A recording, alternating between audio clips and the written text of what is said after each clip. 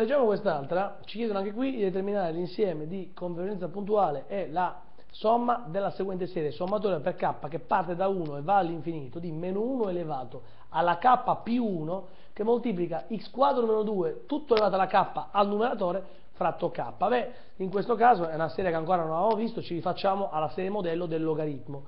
Vi ricordo che il logaritmo di 1 più x è la somma della seguente serie che è somme per k che va da 1 all'infinito di meno 1 elevato alla k meno 1 che moltiplica x alla k su k.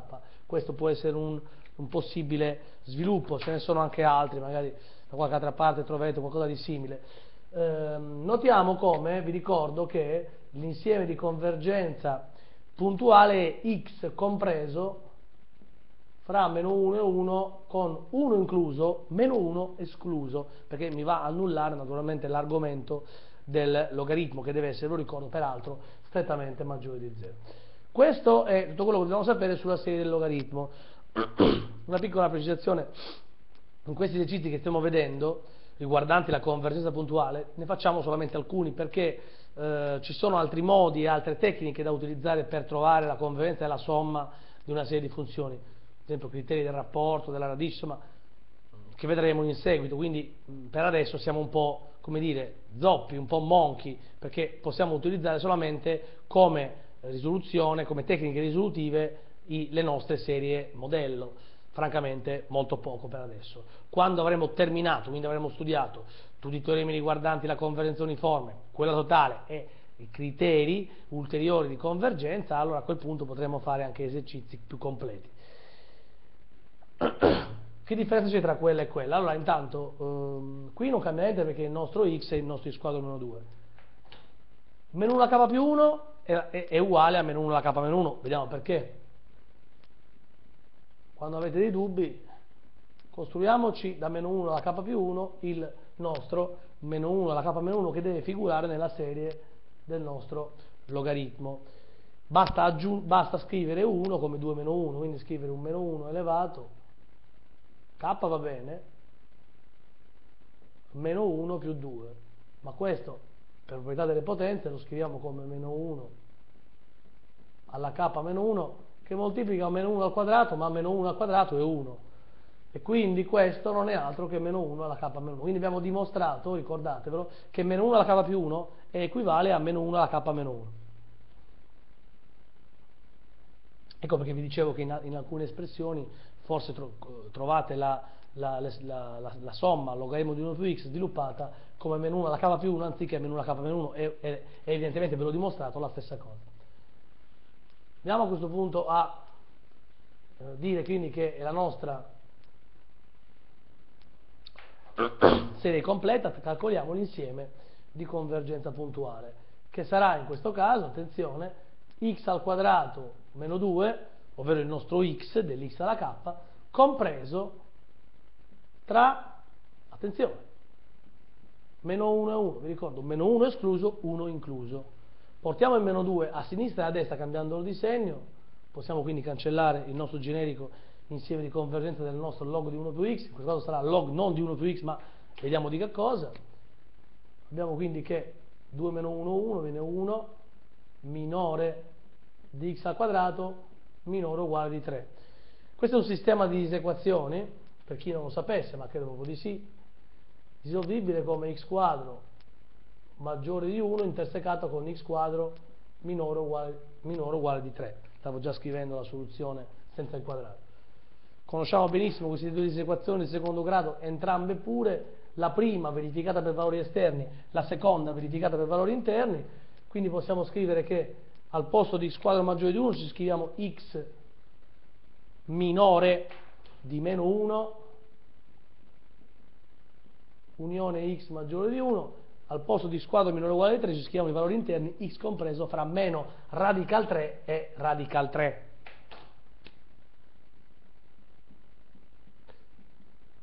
se andate a intersecare troverete che qui abbiamo meno radice di 3 poi dopo meno 1 1 è radice di 3 x compreso fra meno 12 di 3 e 12 di 3 con meno 12 di 3 e 12 di 3 inclusi, eccolo qua, valori esterni x minore di meno 1, meno 1 escluso, x maggiore di 1, 1 escluso, eccolo qua, allora vedete come il nostro sistema è verificato in questi due intervalli. E quindi lo scriviamo là, il nostro insieme di convergenza puntuale vale, attenzione, è tra meno radice di 3 e meno 1 con meno radice di 3 incluso meno 1 escluso unione 1 radice di 3 con 1 escluso radice di 3 assolutamente incluso. Fatto questo possiamo scrivere la somma tenendo conto questa espressione della serie modello la nostra somma s con x sarà uguale a, attenzione, il logaritmo, si intende evidentemente il logaritmo naturale, non di, di 1 più, non x, ma chi? Beh, di 1 più x al quadrato meno 2, cioè il logaritmo di, tenendo conto che 1 meno 2 fa meno 1, logaritmo di x quadro meno 1 è la somma della serie sommatoria per k che parte da 1 e va all'infinito di meno 1 alla k più 1 che moltiplica x quadro meno 2 alla k fratto k. E quello lì è l'insieme di convergenza puntuale. Attenzione, prestiamo attenzione adesso a questo esercizio. Determinare l'insieme di convergenza puntuale e la somma della seguente serie, sommatoria per k che va da 1 all'infinito di meno 1 alla k, che moltiplica x alla k più 2 fratto k più 1. Beh, uno dice, ma anche questa è la serie del, ci dobbiamo ricondurre alla serie modello del logaritmo, ma come facciamo? Perché per chi naturalmente sta guardando la serie che vi ho proposto, in questi momenti, in questi istanti, eh, se la state risolvendo con me, uno dice ma va bene, x alla k più 2 è un x alla k per un x al quadrato, proprietà delle potenze, va bene, l'x alla k rimane. Vi ricordo che la serie del logaritmo, che ha come somma il logaritmo di 1 più x, è sommatoria per k che va da 1 all'infinito di meno 1 elevato alla k meno 1 che moltiplica x alla k su k, per chi non l'avesse capito, mm, stiamo parlando di questa, che ha appunto come somma il logaritmo naturale di 1 più x. Ricordo che il cui insieme di convergenza puntuale è x compreso fra meno 1 e 1 con meno 1 escluso, 1 incluso. Il problema però è, aggiungendo e togliendo al denominatore o moltiplicando e dividendo, non risolvo niente. Beh, eh, moltiplicare e dividere no, anche perché qui non stiamo, questo capo 1 come, come facciamo a cambiarlo? Beh, è arrivato il momento di introdurre la sostituzione nelle serie di funzioni anche è un argomento, è una, una tecnica che spesso utilizzeremo anche in seguito, quindi memorizzatela bene, molto semplice, come nei limiti. A noi ci, ci interessa che questo, questo, questo, termine qui sia k.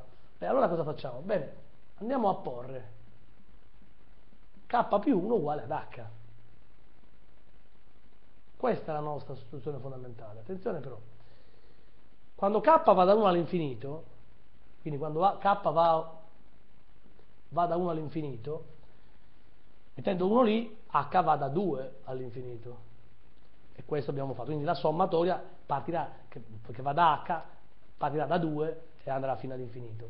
Qui avremo un h e, attenzione, chi è k? Beh, se k più 1 è h, k è h meno 1, portando l'1 a destra. Quindi lì metteremo un meno 1, guarda caso, alla h meno 1. E chi è k più 2? Mettiamo 2 a sinistra e a destra, k più 2 sarà h meno 1 più 2, quindi h più 1.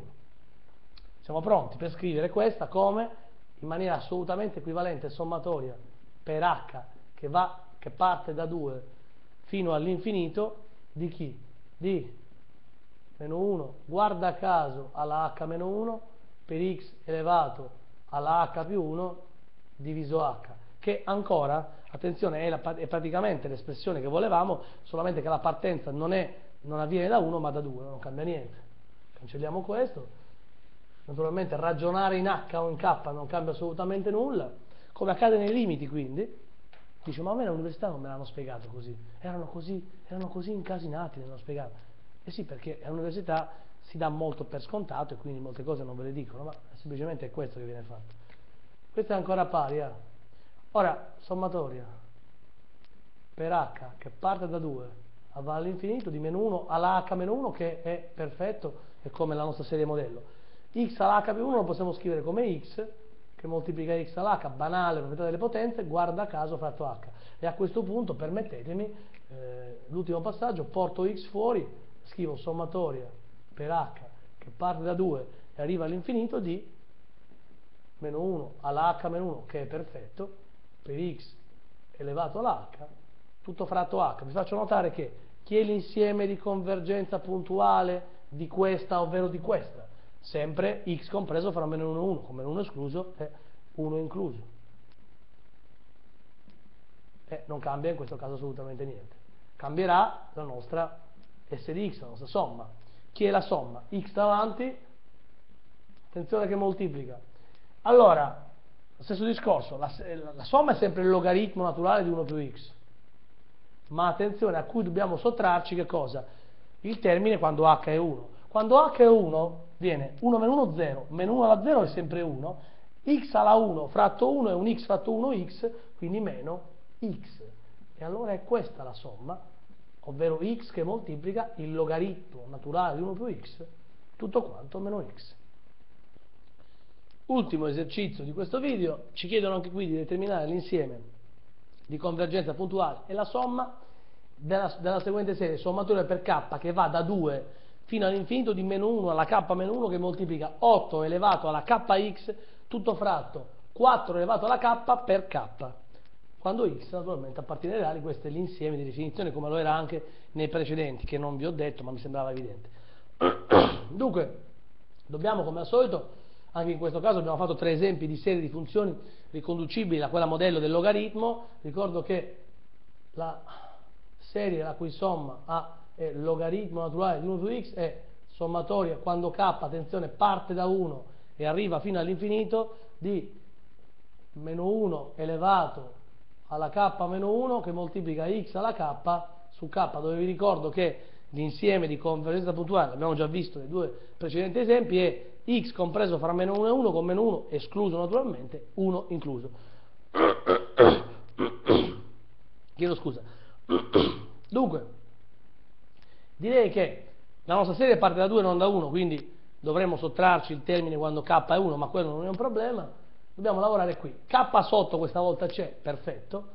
Lavoriamo solamente su 8 alla kx tutto diviso 4 alla k, che deve diventare tutta la quantità elevata alla k, molto semplice, k per x per la proprietà banale che si impara in, credo prima, seconda elementare sulle, sulle moltiplicazioni, no, forse seconda, seconda elementare perché le moltiplicazioni si fanno in seconda,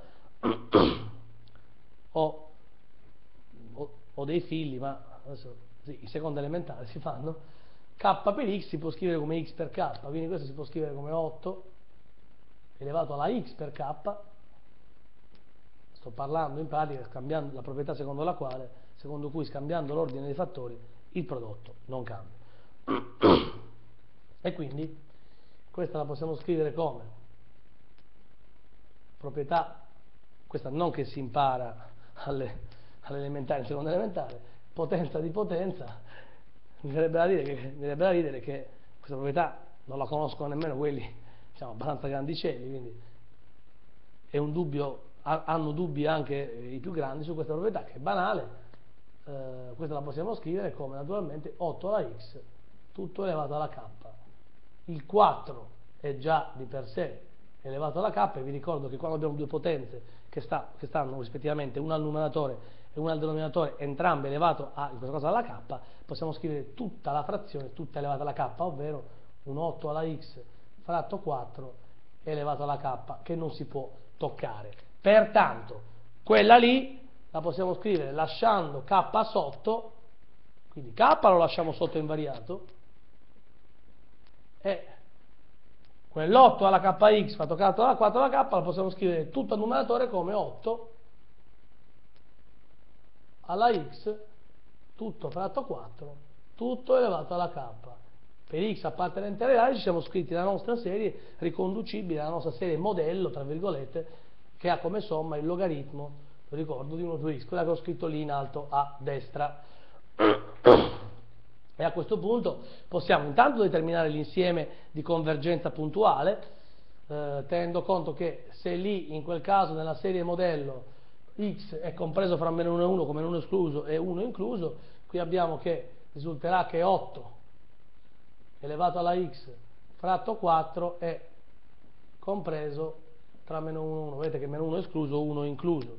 Ovvero vuol dire, in entrambi i casi moltiplicando in tutti e tre membri per 4, lo possiamo fare, abbiamo meno 4 minore di 8 alla x minore o uguale di 4. Vi ricordo che 8 alla x è sempre maggiore di meno 4 per definizione esponenziale che è sempre maggiore di un numero negativo, questo si riconduce a semplicemente risolvere 8 alla x minore o uguale di 4. Banale disequazione esponenziale dove possiamo eh, elementare scrivere 8 come 2 al cubo, quindi un 2 alla 3x minore o uguale di 4 che si può scrivere come 2 al quadrato e visto che parliamo di basi 2 maggiore di 1 risolvendo l'esequazione dei rispettivi esponenti troviamo che 3x risulta essere minore o uguale di 2 dividendo per 3 ambe, ambedue membri x minore o uguale di 2 terzi, x minore o uguale di 2 terzi e pertanto l'insieme di convergenza puntuale della nostra serie di funzioni. Che andiamo a scrivere, quindi meno infinito 2 terzi, 2 terzi incluso assolutamente, e rappresenta l'insieme di convergenza puntuale della nostra serie di funzioni. Non rimane altro che scrivere l'espressione della somma, che in questo caso, attenzione, eh, è la stessa di questo, solamente che dobbiamo sottrarci il termine quando k vale 1, perché la nostra serie parte da 2. Quindi sarà il logaritmo naturale di 1 più, naturalmente non x, ma 8 alla x fatto 4, quindi possiamo scriverlo come un 2 alla 3x quarti, attenzione, meno, quando k è 1, qua abbiamo 1, quindi rimane 1 meno 1 0, meno 1 alla 0 fa 1, 1 su 1 1, abbiamo un 8 alla x quarti elevato alla 1 e un 8 alla x quarti, quindi un meno, possiamo scrivere come 2 alla 3x fratto 4.